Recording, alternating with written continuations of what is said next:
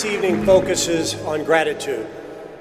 It also presents us with an important opportunity to pay tribute to the members and life partners we've lost since we last hosted the annual awards event in 2019, all of whom have left behind a legacy of extraordinary service and commitment to this association. Here we remember 50 members and life partners who we deeply miss.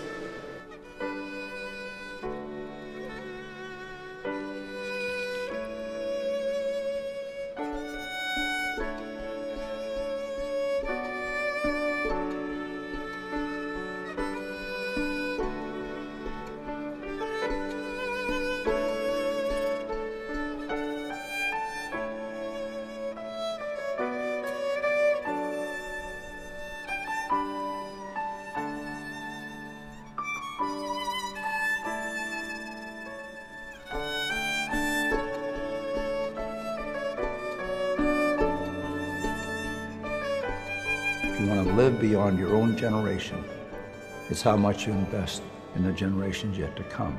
That will live longer than any of us.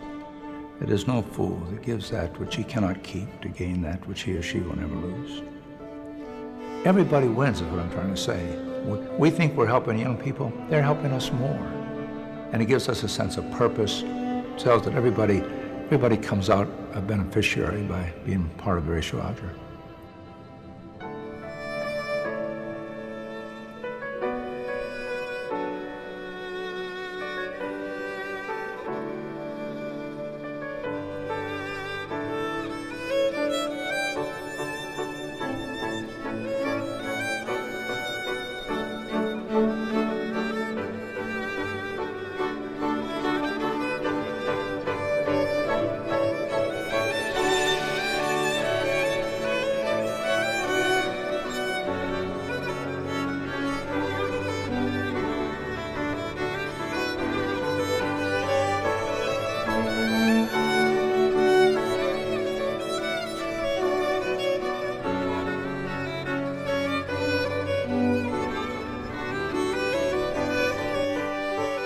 every stage of my life, I've been a witness to the greatness of this country. And I have stood in awe of American courage and decency.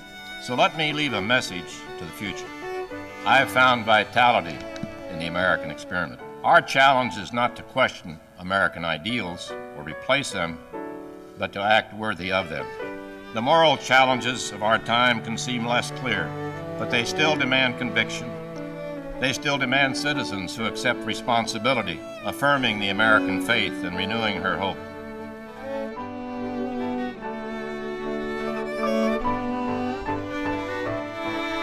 I do think that's what sets uh, our country apart is that, that, that there are people that can look to being a part of the American success story without having to be concerned about whether or not they start as a success. And I think in America, people still believe that they got a chance. If I can give people the feeling that, that that's something that's still possible, then I've, I've really paid my debt to America by proving that other people, if they'll keep their dream, that they can achieve it.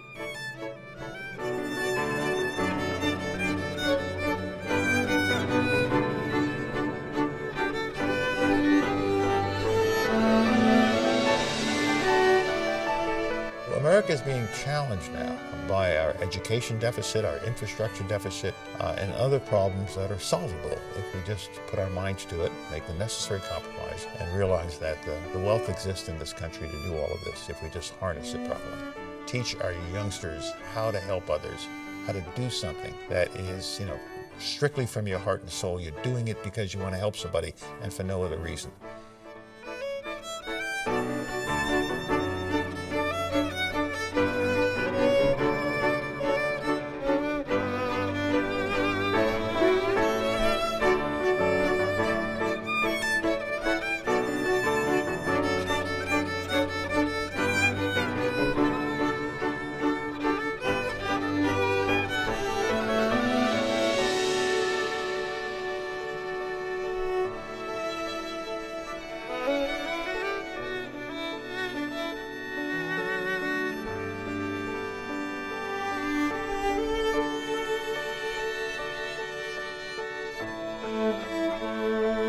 Not about me. It's about the values that the association stands for. Those are the values that never go out of fashion. Hard work, honesty, persistence, overcoming adversity. You have to give something back to your community that will allow people in the future a better education, a better opportunity, a better start in life.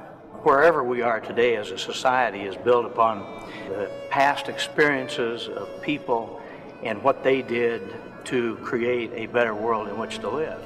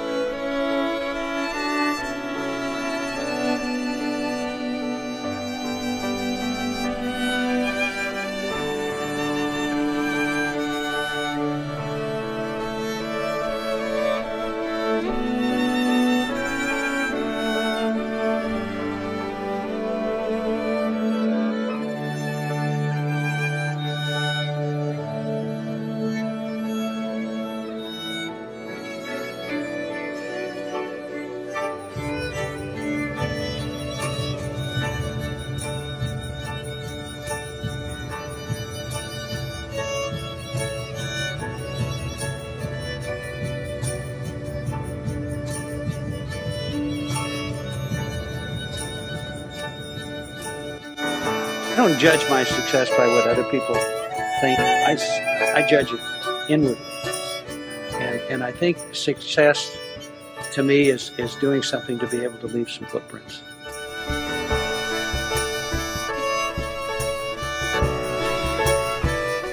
We are designed to be a channel of God's love to others, to be his hands and feet in a hurting world, and to be a blessing to every person he puts in the path. And the joy that's come from knowing that mission rather than saying, hey, I, I got to make another million, it just created a whole sense of joy of feeling I kind of I'm in step with what God would have me be.